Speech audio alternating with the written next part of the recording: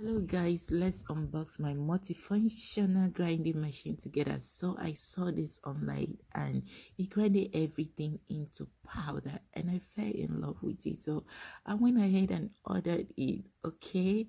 Here is it.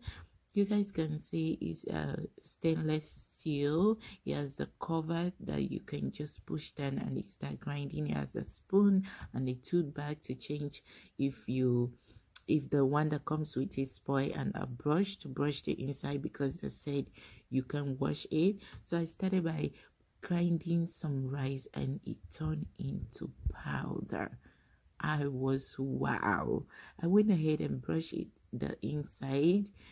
And look at this guys. I can't believe it. All right i went ahead and added some oat milk to see. And it also wowed me.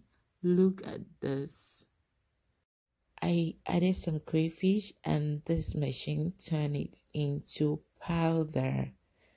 This is very perfect for grinding grain, spicy, nuts, anything dry. It's going to turn it into powder.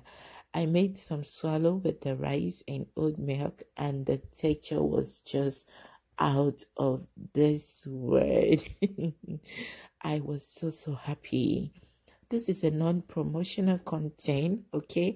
It's just me showing you guys something that has really helped me in the kitchen. It's very handy very easy to use and it can also help you too. All right? Thank you for watching